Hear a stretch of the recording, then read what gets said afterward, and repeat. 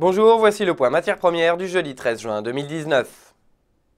Dans l'optique de voir le conflit commercial s'intensifier, le ralentissement économique chinois se poursuivre et la Fed baisser son taux directeur, nous anticipons une poursuite de la hausse sur l'once à court et moyen terme.